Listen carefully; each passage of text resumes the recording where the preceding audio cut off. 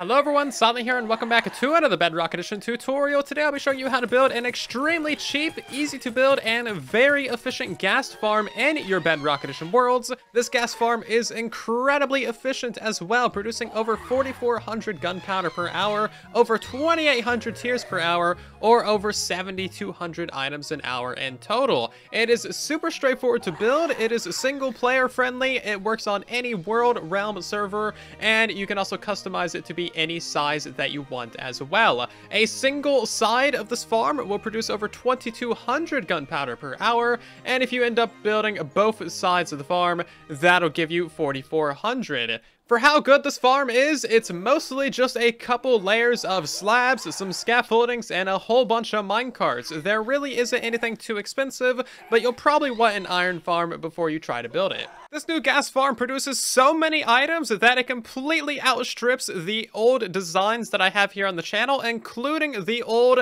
amazing to look at minecart design. A single cell of the new design produces more than this old giant farm, and with two cells of the new design, it also completely destroys the rates of the nether portal design as well. So this is an extremely good ghast farm. To put the rates into some perspective, this is what you'll get in one hour of running the farm, an entire double chest of all of those goodies, and another entire double chest of those goodies, plus a little bit more on the side. That is way more than enough gunpowder for a single player. It's probably enough for a whole rocket shop if you play on a server. It's more than enough for all of the rockets, boom blocks, or boom crystals you would ever need. So this is one side of the ghast farm. This will produce over 2,000 gunpowder per hour, and if you are really overpowered, then you could even build a second side of it and get over 4,000 gunpowder per hour. However, I think for most players, this side right here will be more than enough. It looks like a really big, complicated farm, but in reality, it's just a whole bunch of slab platforms,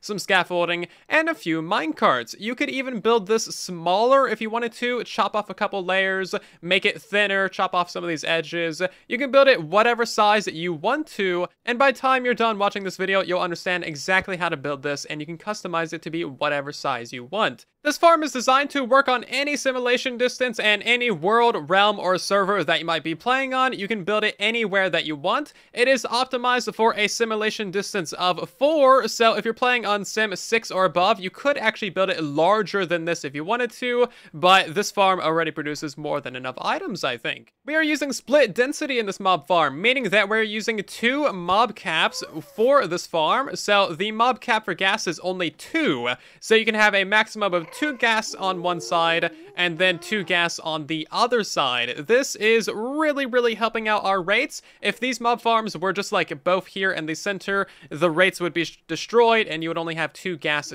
total, which is why we separate them out. Having the ability to kill four ghast at one time is incredibly helpful to get much more gunpowder. One thing you need to know about the farm is that you need to turn it off before you log out of the game or leave the area. If those trident killers are running as you leave the area, all the tridents are going to fall down and then you will have to go up there and rethrow them. And you'll probably need to drink an invisibility potion to avoid all of the ghast firing at you. So make sure you turn it off and you'll be golden. And on that note, if the farm is on, you need to be standing right here in the center. It is about the maximum size it can be. So if you go wandering off from this spot, some portions of the farm might get unloaded, so only have the farm turned on if you're standing right here. The mechanics behind this farm are incredibly basic and so dead simple, it's actually pretty amazing. So mobs will automatically get into a minecart as soon as they touch it, and of course, ghasts are like super duper big, so one minecart in the middle of a 6x6 square right here will pick up any ghasts that spawn in this area. So this one minecart covers this entire area, meaning that we need very few minecarts to cover an entire farm. So any ghast that spawn on this platform will automatically get into that minecart basically as soon as they spawn. As you can see, he's in there. And of course, if this minecart is actually powered on an activator rail, it's going to be shaking. So anything that gets into that minecart is going to be automatically ejected. So if a ghast gets in here, it's going to be auto-ejected from that minecart. As you can see, it's not actually in there anymore. He's free to fly around. And we can use this mechanic to actually send our ghasts upwards incredibly, incredibly quickly. So if any ghast spawn in this 6x6 of gold blocks right here, it's going to be automatically sent up to our kill chamber very quickly, like faster than you can even see. Basically, they're the fastest ghast alive. So if we summon a ghast at that armor stand down there, you can see just how quickly they go up. It is very, very fast. And of course, this operates across the entirety of the farm. And then up here, we are using trapdoor trident killers, which kill the ghast in two hits, and it hits them back to back very quickly as well. Overall, this is an incredibly fast little ghast farm. You can also send the ghast horizontally or even diagonally as well. However, this consumes way more redstone and minecarts and all kinds of shenanigans, so not really worth it. Going vertical is definitely much more resource light. So if we summon a ghast over here, as you can see, he moves along very quickly, and it's actually pretty cute. I do really like it. So we did a bunch of testing on this, but ultimately, horizontal isn't quite great for a ghast farm. So Groovaguy is the original discoverer of this minecart mob mover, and it is just so good. It's incredibly useful for ghasts, especially because they have such a big hitbox around them. You can get away with using very few minecarts, and overall, it is just great. So huge thank you to Groovaguy, and also thank you to Zipper for helping me tweak and design a little bit of this farm as well. Overall, it's turned out very well. So thanks again to Gruva and Zipper. And let's hop into the tutorial, shall we? For your convenience, there is a full materials list down in the description of the video. That way you know everything you need to build with. There's also a world download on my website, silentwisperer.com. You can download this world, check it out for yourself, try it out, and see exactly how it's built. Link is down below. The first thing that you need to do is find a good location to build. You are looking for a Soul Sand Valley biome over a large lava lake like this one right here. You can tell if it's a Soul Sand Valley because it'll have this nice blue fog. And this is basically what it looks like if you don't have any night vision. Soul Sand Valleys also have these dark ash particles falling through the air. You can see them. They're little tiny, like basically little black specks. And that's how you can also tell if you're in a Soul Sand Valley biome. Basically, you're looking for the biggest lava lake in a Soul Sand Valley that you can find. You're going to need about 90 blocks from the bottom of the farm on the south side to the top of the farm on the north side. And then you'll need at least like 30 blocks blocks to the east and west. Ideally, you want to have, you know, 40 blocks in every direction from the middle of the lava lake. That way you don't need to spawn-proof everything. Picking a good location is completely necessary because you do not want to have to spawn-proof a bunch of the nether. So take the time, find yourself a good lava lake to build in. You can make this a lot easier by going to the website chunkbase.com, going to their seed map, and then inputting your world seed and bedrock edition, and then selecting the nether. This will show you a map of the entire nether around you, and you can put in your coordinates down here at the bottom. So basically, each one of these big brown, like, blobs is a Soul Sand Valley biome. So you can look at this map, find out which one of these biomes is the biggest, and then go visit those in your survival world or in a creative copy, and find out which one of those has a massive lava lake for you to build in. Exploring the nether naturally could take hours, so just use chunk base, you'll save a lot of time. Once you found a suitable lava lake, we need to go up to Y level 78, and we're to build ourselves a couple of small platforms, just out of temporary non-spawnable blocks like some glass. So you should be standing at Y level 78, and you might have guessed it, but these are chunk markers. So each one of these is the outline of a chunk. There's a ton of different ways to find chunk borders on a Bedrock. You can find a tutorial on how to do that in the description and in the iCards as well. Basically, all you need to do is mark out these four chunk borders at Y level 78. That is north, and this is going to be going to the south. To check your directions, place down a sunflower on a piece of dirt. These always face to the east, so if you turn left, that is going to be north. And of course, if we check this with our chunk border resource pack, you can see the chunk borders are going right between our markers here. So this is really simple, and we're going to be AFKing right in the middle of this platform. So count in eight blocks from the edges. This 2x2 is the exact middle of this whole platform. And then we're going to be standing in between these glass panes to lock us in place. And this is the AFK spot for the entirety of the build. So we're going to be building one side of this farm together. The farm is basically exactly the same on both sides.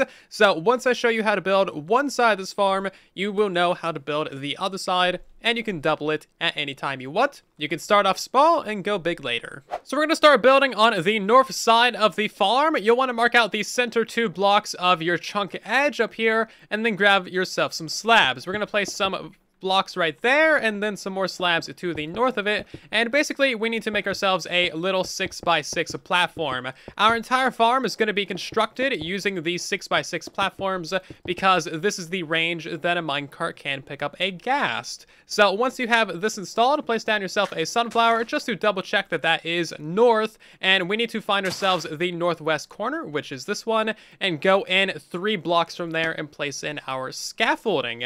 That is going to be where our minecart is a little bit later. If you put a minecart on top of there, it's going to pick up any ghast that spawns on the 6x6. We're also going to place in ourselves a few torches on the corners to prevent skeletons from spawning, because those guys will hurt the rates of your farm.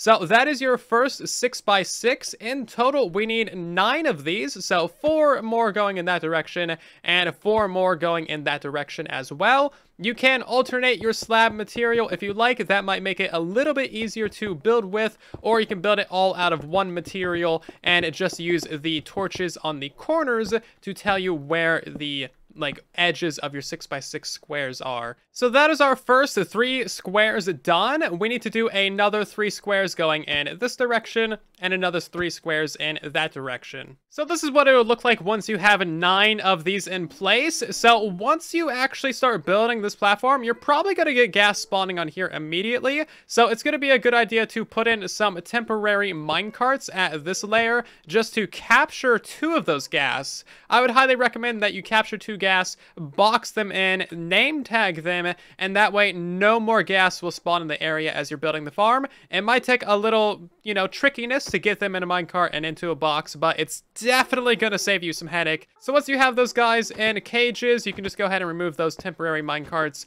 And now we need to have another seven of these squares going behind these. So we have nine on the front and then seven in the back. And that's what it should look like once you have all of your squares complete. This is the first spawning platform completely done. You can build up to five of these. We're going to have one more above it and then basically like two and a half below it. If you just want to start out with this platform and then one more above it, that is perfectly fine. You can add the lower ones on later to upgrade the farm. It is really flexible. You can build it whatever size you want. So all of our spawning platforms are going to be four blocks between them, and then, you know, the gap for the half slabs. So our top spawning platform is going to be a Y83. The one that we just built is of course at Y78. One going down from there is at Y73. The next one going down is at Y68. And then the next one going down is at Y63. So that is going to be five spawning platforms in total. The top four of these are full-size platforms.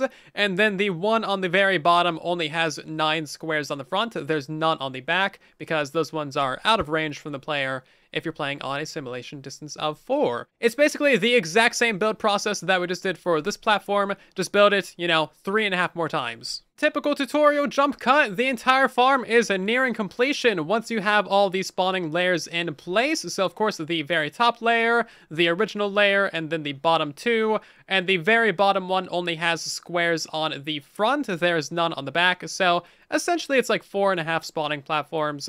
These scaffold pillars are really easy. You just need an additional two on top and then one on the side, an activator rail right there, minecart on it, and then a lever, and then just flick that. And that's essentially all there is to it. So you're going to have, you know, three scaffolding and then your minecart, your lever. Now for the back ones, they need to loop away from the farm. So the levers should be on the outside edges of these platforms, kind of like that. And that's basically all there is to it for your spawning platform with the minecarts. You need to do that for all five layers of your farm, of course. And this is what it would look like once the entire farm is full of your minecarts. You got minecarts wiggling everywhere. They're just all happy doing a little dance. You need to be careful not to nudge these minecarts because if they fall off of here or get on the ledge like that, they're just going to hold a ghast and they're not going to eject a ghast upwards into the kill chamber. So make sure they're all centered properly on top of the scaffolding pillar. They should never get knocked off during normal use of the farm, but if the player bumps into them, then that'll cause them to fall off. But otherwise they should be perfectly stable and the ghast themselves shouldn't move them at all. One of the final things to do is to come into this area and just break out all of these excess blocks that you have because you don't need these glass blocks here. These are going to be wasting some spawning spots. Just go ahead and fill those back in with some regular slabs and you are good to go. You can actually remove the entire chunk border system that you set up, but I think they're kind of nice looking, so I'm going to leave them. And now it's time for the kill chamber and item collection. So go to the upper right corner of the farm and we're going to place in a couple of temporary blocks. You want a solid block there, two blocks out, and then a block up like so. So basically, you know, just four. And you should have yourself five blocks in between these minecarts if everything is lined up and built correctly. So what you need to do is place in another temporary block right here, and then a temporary double chest for your item collection. Place in a whole line of hoppers going until you line up with these first minecarts, and then we're going to break out all of these temporary blocks. We don't really need those anymore. And then you want to place yourself two hoppers lined up with your minecart here, slabs above all of these ones in the center. And now we're going to place in ourselves a solid block above there, a glass block right there, and then a rail facing to the side like that. You also want a glass block there, and then another glass block on its side, and then a trapdoor in front of it that you can flick up like so, just to contain all the items inside of there. That way no items are lost from the farm. So now we're going to place in a temporary block above that and a rail right there, minecart on the bottom, minecart on the top, break that one. That's going to get you two minecarts in there. That way you can hold two ghasts at one time. And now we need a trapdoor right here for the Trident Killer, but you can't just place it in all willy-nilly. You got to place it in in a specific direction. That way it doesn't break because of Bedrock Edition. So basically, you just need to be facing south. If that is north, if we turn around, that's going to be facing south. And the trapdoor just needs to be placed in like that. That way it's flicked up towards, you know, the minecarts like that. And that is this entire kill chamber done. We essentially need to do that exact same thing over here. Once you have this side built up, you also need to be facing south for this trapdoor. So that one faces upwards like so, and so does that one. They're basically in the same orientation, just on either side of that block. And now we need to build a killing cell at each one of these minecarts. So we're going to be just basically bringing over this hopper line and extending it out. Every single one of these hoppers going down the middle is going to have a slab on top of it. And then as we place in all these solid blocks, we're going to be connecting those up with a slab line and redstone dust on top of all of them. So go ahead and build that up and extend it all the way out. So once you have your entire killing station set up, as you can see, it's basically just the exact same thing at every single one of your cells.